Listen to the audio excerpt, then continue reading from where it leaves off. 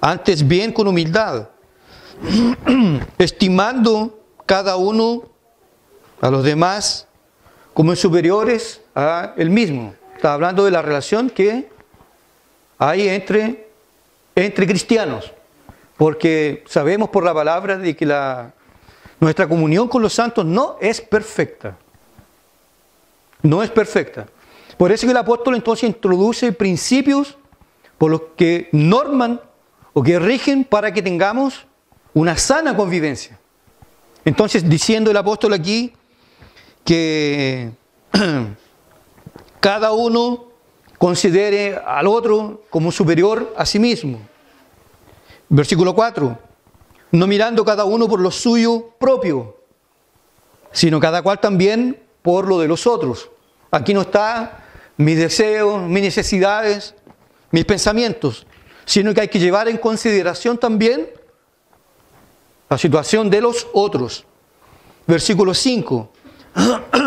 Y por eso que él hace este, este gancho extraordinario cuando dice, haya pues entonces en vosotros este sentir que también hubo en Cristo Jesús, que siendo Dios sublime y glorioso, no lo tuvo por, eh, por derecho.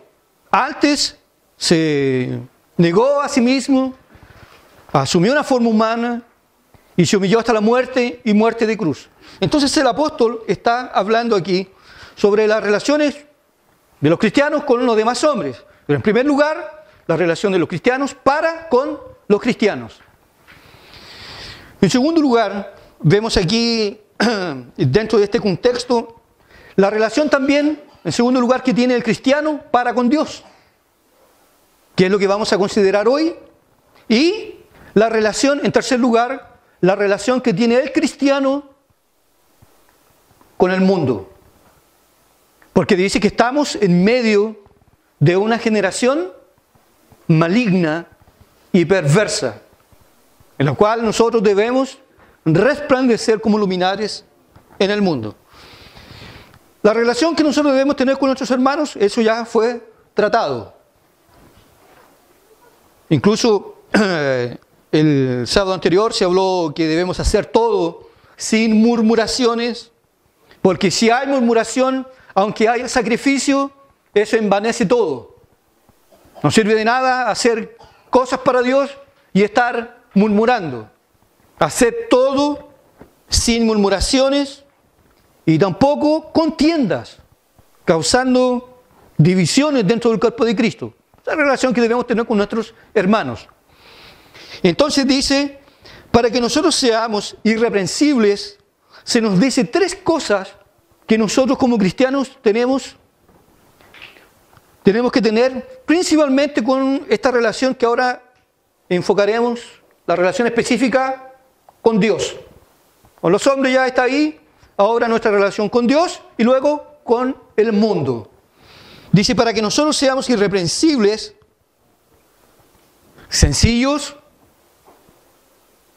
hijos de Dios, sin mancha, en medio de una generación perversa. O sea, el cristiano tiene que ser una persona irreprensible, tiene que ser una persona sencilla y tiene que ser una persona sin mancha. ¿Y cómo se logra eso? ¿Cómo se logra ser irreprensible? ¿Cómo se logra, cómo logramos ser sencillos? Aunque la traducción en el original no es la mejor en, esta versión, porque el original tiende para la santidad, puro, inocente. ¿Cómo podemos ser irreprensibles? ¿Cómo podemos ser puros, inocentes? ¿Y cómo podemos ser sin mancha? ¿Cómo? ¿De qué forma? Si no tenemos una relación personal, directa, estrecha con Dios. Nosotros entonces como hijos de Dios, y esto no lo vamos a, vamos a desarrollar, nosotros como hijos de Dios, entonces debemos tener o debemos desarrollar tres virtudes. Primero, debemos ser irreprensibles. Cuando el apóstol Pablo habla sobre las virtudes también, que debe tener un ministro, también se habla que debe ser irreprensible. o sea, todo cristiano debe ser irreprensible. Un pastor debe ser irreprensible. Un misionero debe ser irreprensible. Y todo cristiano tiene que ser irreprensible. Esta no es una exigencia solo para líderes, solo para los ancianos de una iglesia. Esta es una recomendación para todo cristiano, que todo cristiano debe ser irreprensible. ¿Y qué significa ser irreprensible? Una persona irreprensible es una persona a la cual no se le puede imputar cualquier acusación. No hay nada que decir de ella. Nada. No se le puede apuntar con el dedo. Y esto tiene que ver básicamente con nuestro comportamiento exterior, lo que se ve. La otra virtud no se ve, porque es interna. Esta, los demás están viendo, están analizando, están siempre atentos y esto es natural. Porque aquí no es, por ejemplo, que de repente, supongamos, ocurriera un disparate, de repente llega el pastor medio entonado. No sé, por un partido, por la independencia, por esto y esto otro, por un casamiento, llega el pastor entonado no, y nadie dice nada.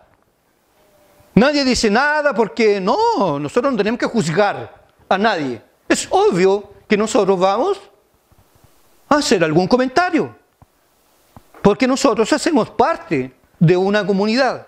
Entonces el apóstol dice aquí que los cristianos filipenses debían ser irreprensibles, que nada, que nadie tuviera nada que decir a respecto de su vivir cristiano.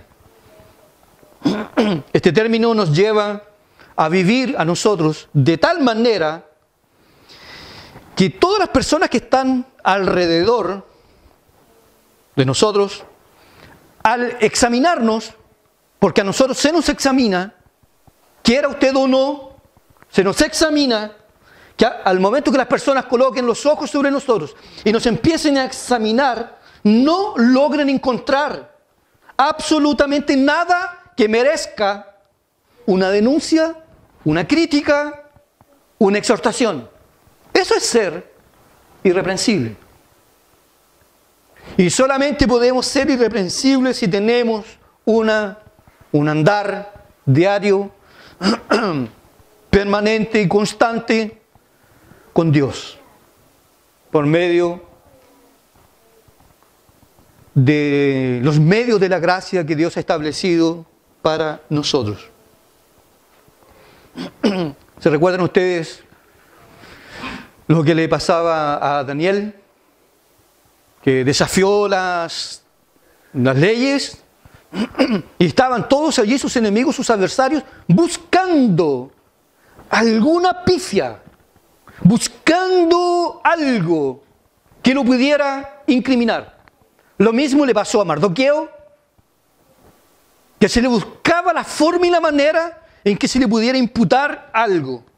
Y al propio Señor Jesucristo, que dice la palabra, que buscaban de alguna forma de pillarlo, incluso de prenderlo en alguna palabra. Y lo pusieron varias veces en, en jaque mate. Y nunca pudieron. Nunca pudieron. El maestro fue irreprensible en toda su magnitud. En todo lo que se puede entender la extensión de esta palabra, Jesús lo fue. Pero sí se nos dice a nosotros que debemos ser irreprensibles, es porque es posible vivir en niveles más elevados de santidad. No se nos pediría algo que no se puede lograr. Entonces se dice de nosotros que debemos ser sin tacha, sin mancha, sin cualquier cosa que se pueda decir de nosotros. Eh, recordando, hermanos, que nosotros estamos conscientes que el mundo, su familia, sus familiares, juzgan a Dios por lo que ven en nosotros.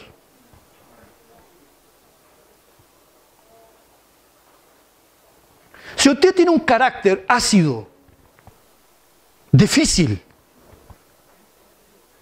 soberbio, van a hablar. Lo van a hablar. Van a decir. A veces de una forma injusta. Porque si a nosotros, por ejemplo, o cuando yo tenía a mis hijos pequeños, si se invitaba a mis hijos a un cumpleaños donde yo sabía que iba a haber baile, yo no los iba, no los iba a llevar. No tampoco le iba a dar permiso. Y ahí, ah, porque es cuadrado. Esa, ahí estamos bien. Pero si a veces hay razón, hay causa, hay motivo, nosotros debemos examinarnos. Porque Dios es juzgado aquí en esta tierra por lo que ven nosotros. Porque la gente no ve a Dios, nos ven a nosotros. Y ellos a veces y nosotros, en cualquier momento, por ejemplo, usted va y le da un, tiene un arrebato. No sé si usted entiende lo que significa eso. Un arrebato. Y el vecino. Y se lo pasan en la iglesia. Y se lo pasa con la Biblia debajo del brazo. En este caso estamos siendo reprensibles. El apóstol dice que nosotros, como cristianos, debemos ser irreprensibles. Que nada, nadie tenga que decir nada de nosotros. Y solamente eso se logra si nosotros tenemos una estrecha comunión con Dios, donde estaremos permanentemente luchando contra nuestro viejo hombre, y dándole muerte permanente, constantemente, sistemáticamente, porque somos malos, porque somos pecadores. Y todavía estamos aquí, en este mundo de pecado, y muchas veces nuestro temperamento, que según el doctor Lloyd Jones, el temperamento es el cuarto enemigo más fregado del cristiano. La carne, el mundo, Satanás y él acrecenta el temperamento, que a veces se nos, se nos sube la leche y queda la escoba. Somos reprensibles. Y a veces, lamentablemente, nos apropiamos de críticas que proceden. Por eso el apóstol dice cuando escribe su carta, en el capítulo 12 de los Romanos, que el nombre de Dios es blasfemado por causa de vosotros. Por causa de vosotros. Entonces nosotros somos personas cristianas que tenemos una inmensa responsabilidad en este mundo. Y que tenemos que cuidar de la mejor manera posible nuestro testimonio. Siendo entonces irreprensibles. Que nada, nadie tenga que decir nada sobre nuestra conducta, porque nuestra conducta está sujeta a la palabra de Dios. Es terrible cuando a veces alguien nos puede, en algún momento, eh, nos puede decir que somos reprensibles o que ya no lo somos. Cuando estamos involucrados en murmuraciones, en contiendas, en pleitos, celos, ira, contiendas. Y eso nosotros tenemos que erradicar de nuestra vida para que seamos más parecidos con nuestro Señor Jesucristo. Qué terrible es esto para nosotros. Porque nosotros a veces, hermanos, basta que dejemos de orar y ya empieza el problema. Y ni siquiera estoy hablando de hacer un ejercicio físico o mecánico No, porque yo, yo me tranco en mi dormitorio. No, la pregunta no es si usted se tranca o no se tranca. Usted, oró. Su clamor llegó. Usted fue modificado. Después que usted allí derramó su alma. Porque no sirve de nada estar una, dos, tres horas trancado y después salir a pelear. No sirve de nada. La oración, cuando realmente es hecha en el Espíritu, ella anula el viejo hombre.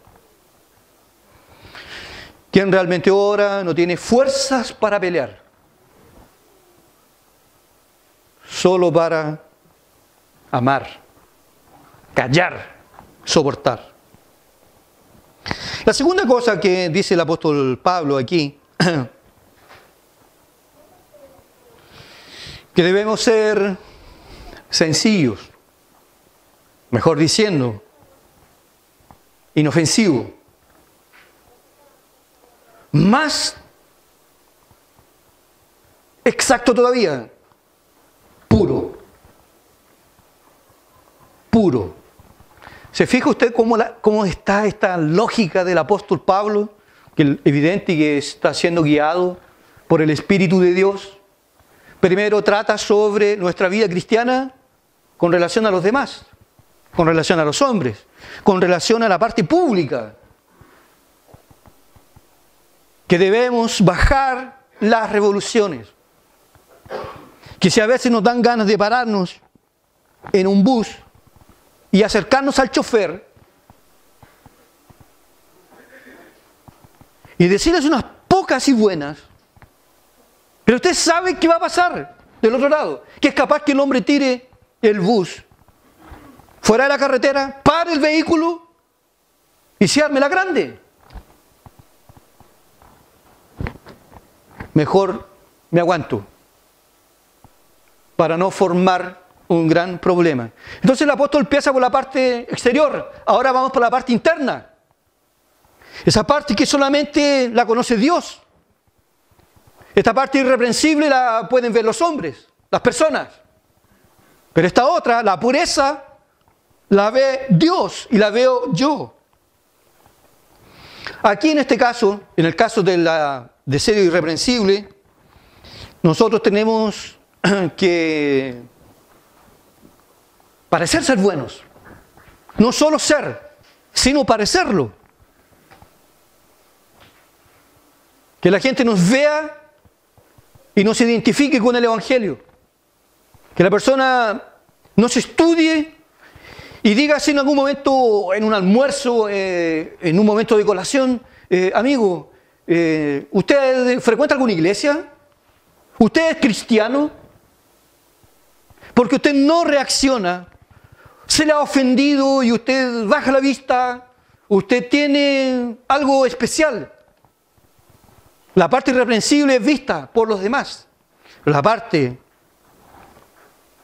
de la pureza de esta segunda virtud es algo interno y solamente es vista por Dios y nosotros. Aquí no es que yo parezco ser. Aquí en esta segunda virtud está lo que yo realmente soy.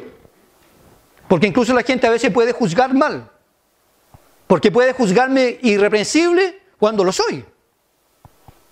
Soy irreprensible. Porque no me ve en mi hábitat. Por ejemplo, aquí es difícil. Porque todos andamos con un freno de mano. Aquí a quién se le ocurriría el de los monos. ¿A quién? Pero en casa la cosa es otra. Porque en caso usted puede dar unos par de grititos, puede golpear la mesa, puede patear la perra, puede dar portazos.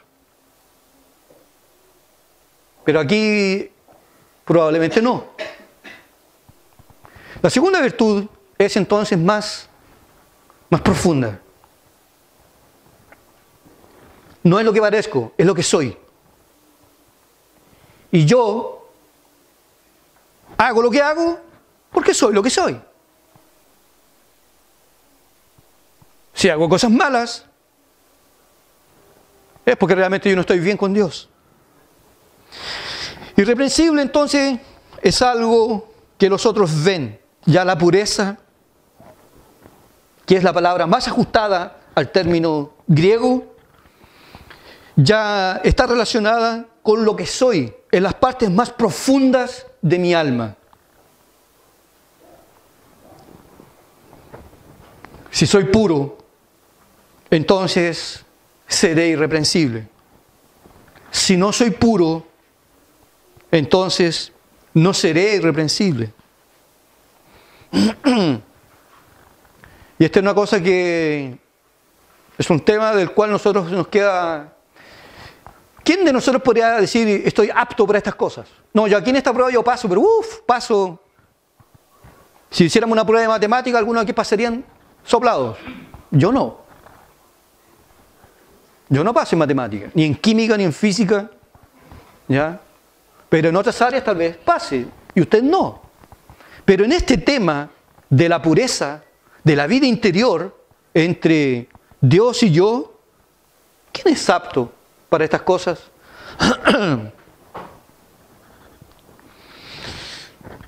Sabemos, hermanos, que la Biblia demanda de nosotros pureza. Es la gran diferencia con las falsas religiones. Parece que estaba prohibido a Israel tener cualquier contacto con sus vecinos, porque todos sus vecinos tenían prácticas abominables, y principalmente en el área moral, relacionado a sexo. Y ahí es exactamente el área donde el hombre tiene sus mayores perversiones. No así los cristianos. Por lo mismo dice la palabra, ni se junten, ni tomen hijas de ellos, ni entreguen sus hijas a ellos. Una ruptura total, absoluta. Y en el Evangelio, aún más, donde se nos dice en la palabra de Dios que para Dios pensamientos, anhelos, imaginaciones, son actos. Que si nosotros lo practicamos o lo deseamos, da la misma para Dios. Y Jesús lo dijo claramente cuando expuso el tema de la ley. Mateo 5, 27 y 28, cuando dice, si cualquier, oíste que fue dicho, no adulterarás. Sin embargo, yo os digo que todo aquel que mirando una mujer la desea en su corazón, ya adulteró con ella. O sea, o sea, en este evangelio, pensamientos, anhelos, deseos son actos para con Dios.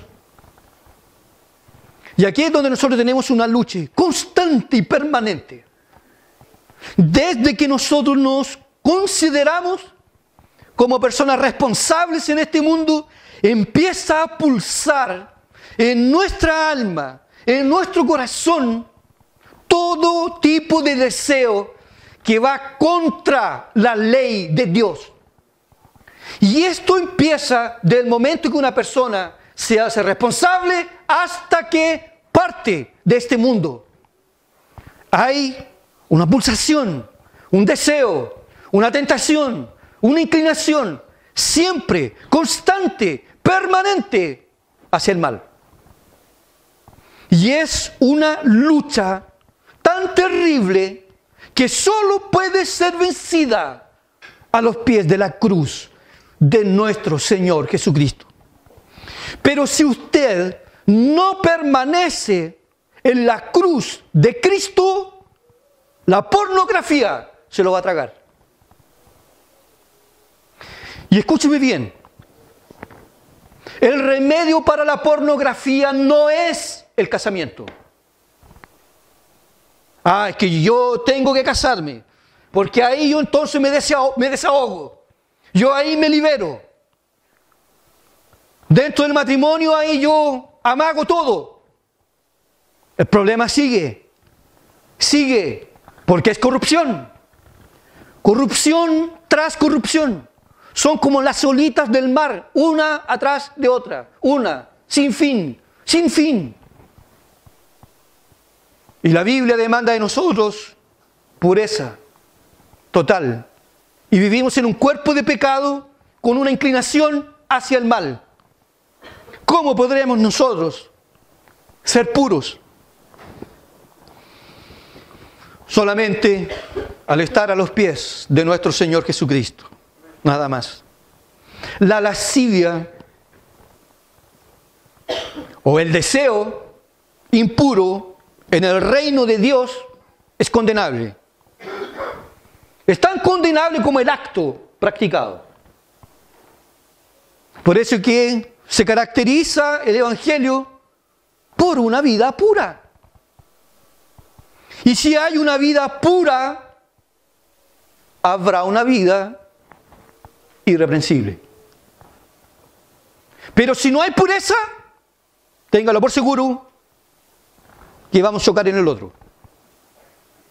Ese problema está en mi interior. Y yo no resuelvo eso. Voy a tener problemas. Quisiera aquí dejar claro, hermanos, que el problema de la pornografía es pecado. Es una deturpación total de algo que Dios creó y que es legítimo. Que usted sienta atracción por el sexo opuesto. Dios nos hizo así. El problema es el pecado que habita en nosotros y que deforma todo. Lo deforma todo. Y lo transforma algo limpio, maravilloso, en algo sucio, vil y vergonzoso. Pero que tiene solución. Solamente a los pies de la cruz de nuestro Señor Jesucristo. Porque bien dijo alguien que cuando estamos a los pies de la cruz, la tentación pierde la fuerza.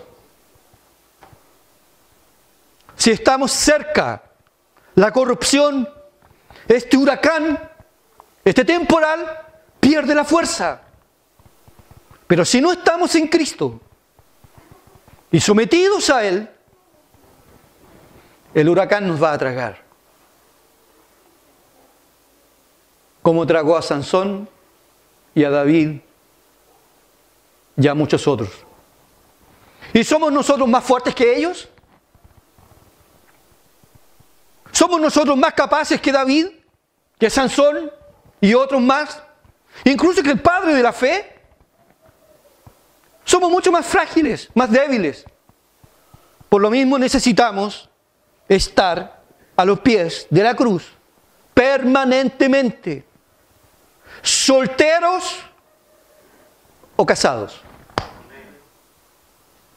No importa el estado civil en que usted esté, tiene que estar a los pies del Maestro.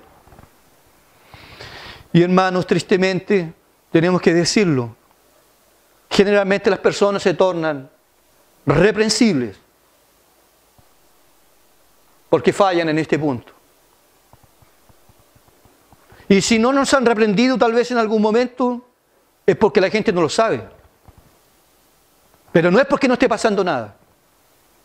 Como alguien dijo una vez por ahí, no, es que ahora eh, es raro ver a una joven embarazada en una iglesia. No es raro. En el año 80, 90, hasta en las iglesias, las niñas embarazadas, en, las escuelas, en todas partes. Pero ahora ya el problema de embarazo, ya se exterminó eso. Una, tenemos una generación más desarrollada. El problema fue que aprendieron a cómo evitar el embarazo. Solo eso. Solo eso. ¿No es este el foco del movimiento feminista? ¿Y de sus parientes? ¿Esos otros movimientos? ¿No es este el punto principal? Pues bien, el apóstol Pablo entonces dice que nosotros como cristianos debemos ser irreprensibles.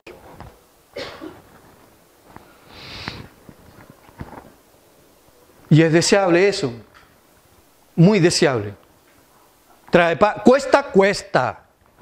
Porque es, mire, le digo una cosa, es bien probable que esté en algún momento incluso haya pensado, yo no soy cristiano. Yo no soy cristiano porque ¿cómo tanta, tanta corrupción? De noche, durmiendo incluso. No soy cristiano. Mm. Y gracias a Dios porque la gente no conoce nuestros pensamientos. Porque también habría una guerra. Se termina la raza. Es solo Dios el que lo sabe. Pero hay remedio para ello. Y no solamente para esto, sino para toda nuestra naturaleza pecaminosa. Porque tanto en esta parte de la, de la pureza, como en el área del temperamento, la cosa es, es brava. La lucha es desigual. Un temperamento ácido, malo, perverso. Parece que, parece que algunos días se levanta con, con la bien izquierda, como decimos nosotros. Y reclama de todo y por todo. Y reclama, y reclama, y reclama. Y el otro allá, no aguanto esta. Y ahí, ¡pa! Vienen los conflictos. Pero debemos colocar atención, porque se requiere de nosotros que seamos irreprensibles, puros. Y es porque no voy a invadir a mi hermano Ignacio, que ya trató sobre la murmuración y la contienda. Que, ¿Será que esto ocurría solamente en los días del Señor Jesucristo y de los discípulos y eso se terminó? ¿Somos cesacionistas hasta en eso? ¿Será? Imposible, imposible. Vocacionados para la pelea, nos pisan el callo y queda la escoba, nos hablan de nuestro hijo y perdemos la compostura. No soportamos críticas.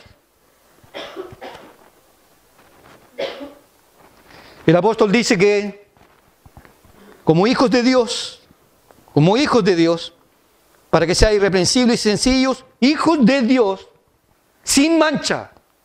Ahí tenemos la tercera. La tercera virtud de un hijo de Dios. Sin mancha, sin mácula. Esta sin mancha, sin mácula es la virtud de las dos anteriores. De las dos virtudes anteriores.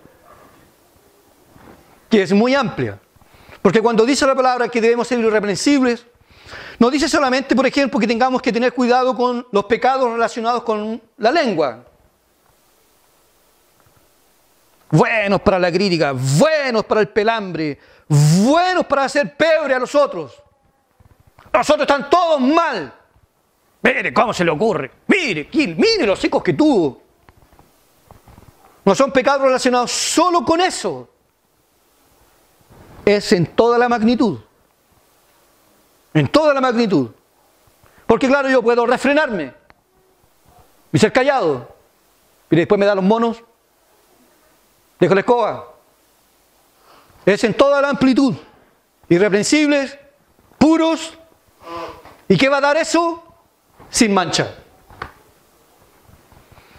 Estatura apropiada para un hijo de Dios, no un enano, sin mancha. Qué joven, qué niña, qué cristiano, qué carácter de Cristo puede ser visto en él. Tan especial, hasta para hablar, es diferente. Es finalmente, hermanos, la santidad interior y exterior lo que más caracteriza al cristiano. Recuerda eso. Lo que más caracteriza la vida de un cristiano en la Biblia y en la historia de la iglesia y hoy y siempre será la santidad interior y la exterior. Si no está presente la santidad en nosotros, entonces no somos cristianos. Sencillo. Porque Jesús es santo. Tres veces santo. Y nosotros, hermanos, no somos perfectos y nunca lograremos serlo. Y nunca podremos decir ahora yo ya no peco más. Antes hay una cosa que nos inquieta muchísimo. El pecado. Es un fardo. Es un peso. ¿Cuándo será el día? ¿No se ha encontrado usted con estos días? ¿Cuándo será el día que salga de este cuerpo de muerte? Para no tener esas luchas, esa indisposición de buscar a Dios. Debería levantarme por las mañanas como un pájaro y volar en dirección a Dios, pero es todo lo opuesto. Parece que mi, mi pajarito es de plomo, indispuesto, duro, no tengo ganas. Pero en otras cosas, impresionante. Tengo dinero, dinero, tu cada. Y ando feliz. Ando con las revoluciones pasadas. ¿Es tan fuerte eso en usted? El cristiano sabe que no es perfecto. Y nunca lo seremos. Pero hay algo que nos caracteriza a todos. Esta miseria que habita en nosotros. El mal. Señor, ¿cómo me cuesta orar? Ayúdame. ¿Cómo me cuesta leer la palabra? Me encanta ver películas. Me encanta ir al cine. Me encanta salir a comer, jugar, pasear.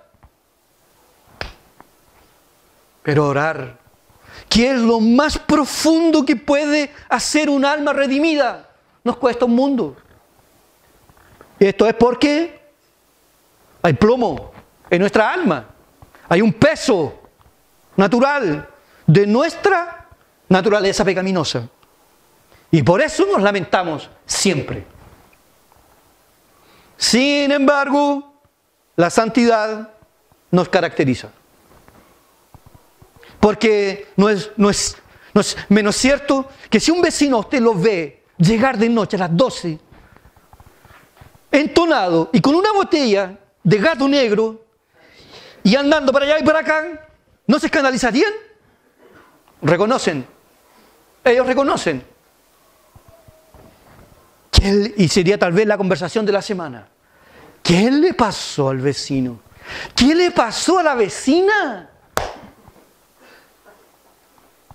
Porque ellos reconocen que nosotros tenemos una vida irreprochable. No tener mancha significa que la santidad nos caracteriza, no en plenitud, pero luchamos. Y no tenemos paz. Riley dice, Riley, Riley es Riley. Dice, el cristiano se caracteriza por una paz, una profunda paz interior, producto que ya rompió sus lazos con el pecado. Pero el cristiano tiene paz y una guerra dentro de su propio corazón. Tenemos paz y guerra en nosotros. Para terminar, esa es la relación del cristiano consigo mismo y con Dios. Ahora pasamos la relación que debe tener el cristiano con el mundo. Dice el texto, para que seáis irreprensibles y sencillos, hijos de Dios sin mancha, en medio, ¿qué palabras? De una generación maligna y perversa, en medio de la cual resplandecéis como luminares en el mundo. Mire, a vuelo de pájaro, así como si fuese exactamente eso, un vuelo de pájaro, ¿qué podríamos ver ahí? En esa expresión, en medio del mundo, en medio de una generación mala y perversa, en medio de una generación maligna y perversa. ¿Qué vemos ahí a vuelo de pájaro? Primero, la Biblia no enseña la vida monástica. Que hay que salir del mundo porque el mundo está malo. En este caso, practicar homeschool con ese principio estamos mal. Malísimo. Porque el problema no está en el medio, el problema está en el corazón. Usted lo lleva al niño a la montaña o a una isla, pecador mentiroso, egocéntrico, todas. El problema no está en el medio. Entonces la Biblia no enseña la vida monástica, como enseñaban los, o enseña el catolicismo romano. Que el problema como está en el mundo, hay que irse a las montañas. Y allá están, con esas campanas ridículas. ¡Brum! ¡Brum! ¡Qué cosa terrible! ¡Qué cosa aburrida! esa contemplación infame. La Biblia no enseña la vida monástica. Abuelo de pájaro. El cristiano en su esencia es completamente diferente del mundo. Completamente diferente. Si usted anda vestido como el mundo, usted habla como el mundo, hay algo raro ahí. Porque somos diferentes. Porque aquí se nos va a decir que estamos en medio de una generación mala y perversa en la cual resplandecéis como luminares. O sea, ¿qué tiene que ver la luz con las tinieblas? ¿Qué tiene que ver? ¿Hay algún parecido? ¿Dónde está uno? No puede estar el otro. Aquí no hay penumbra. Aquí no hay sombra. O se es luz o tinieblas a de pájaro. Este mundo sigue siendo el mismo de siempre. Desde los días del apóstol Pablo, generación mala y perversa. ¿Y hoy? ¿Y hoy? A no ser que usted sea un postmilenial empedernido, que piensa que el mundo va de mal a mejor, que los días de ahora son extraordinarios, son buenos, moralmente hablando, un ejemplo, una maravilla. Esa era cosa de antaño que dos mujeres anduvieran besando en la calle. O, hombres. Eso ahora no se ve. No. El mundo siempre ha sido el mismo de siempre. Solo que con el tiempo se va tornando peor. Y peor, y peor, y peor. Eh, y nuestro deber en este mundo es resplandecer como un faro. Bien, vamos a analizar un poquito. El cristiano entonces, en primer lugar, la relación que tiene con este mundo. El cristiano es esencialmente diferente del mundo. Muy diferente. Es notorio. Usted llega a un lugar de trabajo y lo van a notar. Lo van a notar porque usted no se va a reír con chistes de doble sentido. Si de repente empiezan a picar a las personas, usted sale de ahí. Usted no se ríe. Porque acuérdese, la risa nuestra y el motivo de la risa también dice lo que somos. ¿O no? Moran de con compañía. Estamos mal. Hay que nacer de nuevo. Reality. Esos humoristas de los festivales que tienen la picardía chilena y toda, pero no saben hablar sin el doble sentido. ¿Y usted está, se atreve a asistir con su hija? ¿Con su hijo? ¿Se deturpan todo? El cristiano es alguien diferente, esencialmente diferente. ¿Lo van a ver a usted? Por la ropa. No estoy diciendo aquí la teología de la ropa. Aquí pasamos a la teología de la ropa. No, no estoy diciendo de que eh, usar un pantalón a las hermanas sea pecado. Si a usted no le gusta, no lo haga. Pero no es norma, no es señal de santidad. Sería maravilloso que lo fuera. Todas las mujeres con, con falda, pero a los tobillos, más larga que se lleguen a enredar y a tropezar. Porque esa es señal que son más santas. Ojalá fuese así. No lo es. Tiene nada que ver una cosa con la otra. Ray le dice, un vestido de seda puede ocultar un corazón terriblemente pervertido. Sin embargo, se van a dar cuenta que nuestra forma de vestir es diferente. Y no nos rendiremos, no, no nos moverán, parece. No nos vamos a rendir a la moda. Y si voy a un lugar, a un centro comercial, a buscar un pantalón decente para un hombre adulto, ya viejo como yo, y si no hay, no compro. Así de sencillo. Es que tiene que ser apegado, tiene que ser con el pedido. Pero, pero ¿por qué me imponen eso? ¿Por qué me imponen eso? No, no me gusta y pronto, no me gusta. Y me voy. No, no hay, chao. No voy a reclamar, no voy a llamar al gerente ni nada. Me voy. No voy a comprar, no me voy a rendir. El cristiano es alguien diferente. No usa garabatos. Por más que le den los monos, hay un freno de mano que no me deja ir más allá. Por ejemplo, si de repente hay una discusión, no saca el baile la familia. Porque va a quedar la escoba. Entiéndase los dos nomás, marido y mujer. No, porque tu mamá y, tu papá y tu hermano y tu primo y, y sacan y sacan y sacan y se los tiran. El cristiano es alguien esencialmente diferente, muy diferente, muy diferente. Tenemos un freno de mano. No, mejor, mejor me callo. El día de la mañana, todas las mañanas, en ayunas, un ubicatex. Un ubicatex. Un cállate prasol.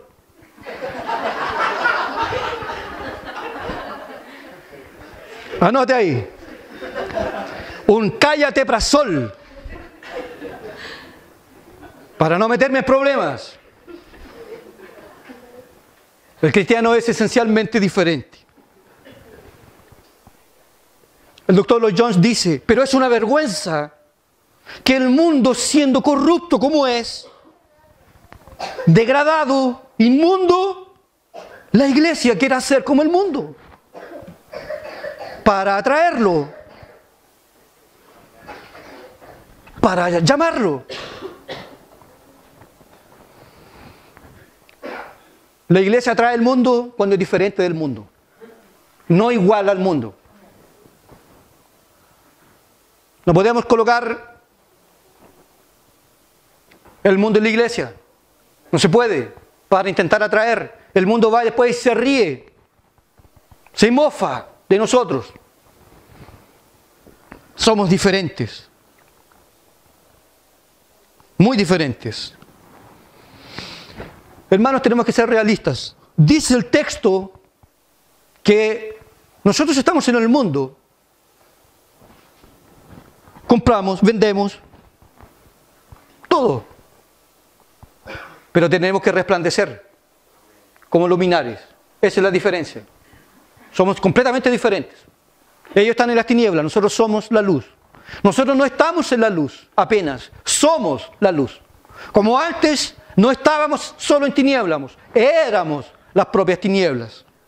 Somos diferentes. Y ahora, en Cristo Jesús, en el mundo, debemos ser como luminares. O sea, como una estrella en el firmamento que alumbra todo en medio de la oscuridad. Eso somos nosotros en este mundo. Estamos llamados para hacer la diferencia, para iluminar, para que la gente pueda mirar hacia nosotros y ver a Cristo. Oye, no capea. Trabaja y trabaja y trabaja, trabaja y no capea. No saca la vuelta. Porque hoy como que se ha implantado la idea trabajar lo menos posible y ganar lo máximo. Y con sindicato y más sindicato y, y esta es la causa. trabajar menos, menos, menos, pero menos, ojalá dos horas diarias y ganar unos 3, 4 millones. Porque ¿cómo lo hacen los otros países, en Europa y así sucesivamente? No, esa es la forma y la manera como nosotros podemos cambiar. El cristiano es alguien que trabaja, que no miente. Imagínense usted, cristiano y bueno va a copiar en los certámenes. Con torpedo aquí. ¿Qué ejemplo? ¿Qué luz es usted? Si usted trabaja y roba, se lleva las cosas para la casa. ¿Qué confianza tiene usted? Nosotros deberíamos ser los mejores trabajadores, porque no sacamos la vuelta. Trabajamos, ni siquiera tenemos autorización bíblica para evangelizar en el trabajo, en horario de trabajo. ¿Por qué? Porque se nos está pagando para tal cosa. No dice el contrato de 8 a 4 y puede evangelizar libremente. ¿Usted está ahí para eso? Después, un horario de colación lo puede hacer, pero no en horario de trabajo. El jefe mira y dice, este cabrón es diferente. Aprenda, aprenda aquí conmigo, con nosotros. Aprenda a ser puntual. Córtela de andar atrasado. Porque cuando llegue afuera, eso se valora. Y llega atrasado allá afuera a ver lo que pasa. Este no sirve. Este es flojo. Tiene que entrar a las 8 y llega a las 8.20. No que estaba lloviendo, no que estaba enfermo, no que me saque una muela, no es que es que la guagua, no es que esto, que esto. Ah, fuera. Hay más gente en la fila. El cristiano es diferente, muy diferente en todo. Muy diferente. El cristiano es diferente en el hogar. En el hogar, en el hogar. El cristiano es diferente en el hogar. Miren, ahí me voy a tener un poquito. En el hogar nos conocen. En el hogar no hay hipocresía. Nos conocen las mañas, todo, todo, todo, todo, todo. Aquí podemos tener cara de ángel. Pero allá nos conocen la otra cara. Y ahí es donde tenemos que brillar, en el hogar. Porque es donde pasamos la mayor parte de nuestro tiempo. Y es porque es el lugar que Dios nos ha dado. Y debemos cuidarlo y protegerlo. El hogar. Por eso que la Biblia es contra el divorcio. Es para siempre el casamiento. Matrimonio, la misma cosa. Es diferente del resto. Cuando a veces se juntan en, en cumpleaños, año nuevo, divorciado, divorciado, divorciado. No puedo invitar, o va a haber un casamiento, no puedo invitar a este porque si viene este se va a juntar con este otro que están separados y va a quedar la pura escoba. El cristiano es diferente, muy diferente. El hombre es el hombre la mujer es la mujer. Él no es ella, ella no es él. Los hijos no mandan, se someten, obedecen o disciplina. Así de sencillo. Somos diferentes. Incluso cuando usted va a una reunión de apoderados, va a notar que hay diferencia. ¿Quién es el papá de tal niño o de tal niña? Lo felicito. Respeta al profesor. Hace las tareas. No copia. Limpio como el agua. Un niño fragante. Ordenadito. ¿De quién es ese hijo? ¿Quién es su padre? Pastor Miguel. ¿Quién será la madre? La hermana Janet. Eso, somos diferentes. Somos diferentes. El marido no le pega a la esposa.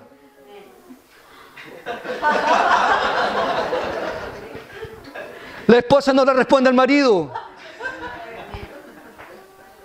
Diferente. Aquí nosotros no nos hemos casado, hermanos, para dormir de espaldas. No, tres días sin hablar. Qué cosa trágica y terrible.